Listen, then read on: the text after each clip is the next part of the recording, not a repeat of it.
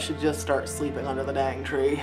Hey, what's up you guys? Good morning. It's your friend Jess back at it again. We are still doing the Target 12 Days of Beauty Advent Calendar. Make sure that you hit that subscribe button for me with the little bell notification so that you know when the next video is being posted and you can stay current on all Advent Calendar activity, makeup bag reviews, etc, etc, etc. Make sure you hit that like button for me so that I can keep doing what I'm doing and it really helps me out. I greatly appreciate it.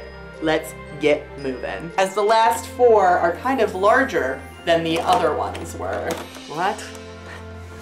Just open it, Jess. On the ninth day of beauty, Target gave to me the wrong side of the door. Time travel. This has to be something anti-aging, right? Honest Beauty. This is their everything organic facial oil. Earl? facial oil.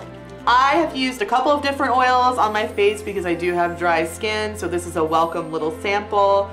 I don't even think that they're gonna sell this on the website. This is literally a sample. This USDA certified organic is packed with fatty acids, vitamins and antioxidants to replenish moisture for younger looking skin.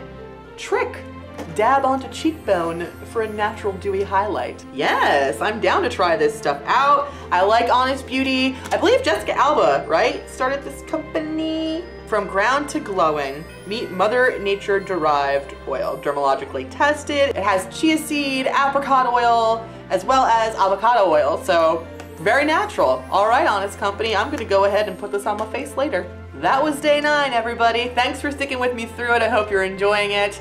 I will see you guys tomorrow morning.